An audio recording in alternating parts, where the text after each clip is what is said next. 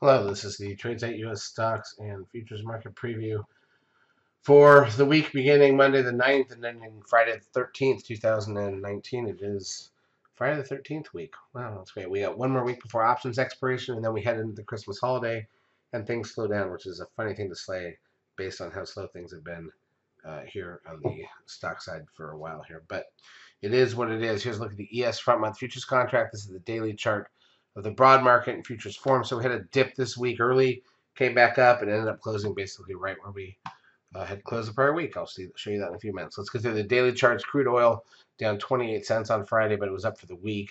58.92. Gold down uh, $1.20 and didn't do much for the week. S&P cash.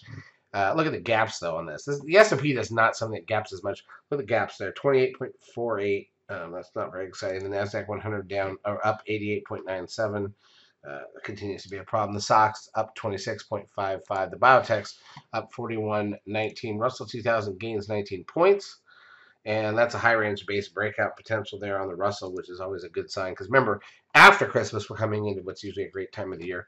Uh, so we'll see what happens. The VIX recedes after popping back up to 18, closes at 1362, down 90 cents on Friday. The trend closing at 0.71, the 10 day at 0.95. NASDAQ volume 2 billion shares. It's actually the lightest of the week. Not very exciting. Advanced decline ratio on the NASDAQ thir plus 1310, the best of the week, and plus 1377 on the New York, the best of the month. But it was down earlier in the week, so we'll see what happens. Google gains $12.43. That's a new closing high on Google with some of the key players stepping aside to let other people take over, which makes a lot of sense. Apple up $5.13. That's a new closing high on Apple as well. Netflix up $4.49. Amazon up $11.12. Tesla up $5.52. Facebook up $1.69. Goldman Sachs up $7.44. That's a new closing high on Goldman Sachs. Um, I think if I go to projection mode, though, yep, there it is. 13 sell signal on Goldman Sachs, the first one of the entire year on this closing high. So we'll see what that means. TLT, the 20-year bond ETF, down 77 cents. The Dow was up 337.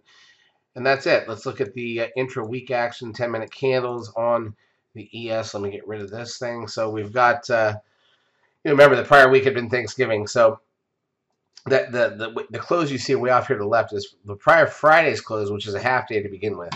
Uh, but we did close, uh, and here's the thing. So Monday we go down.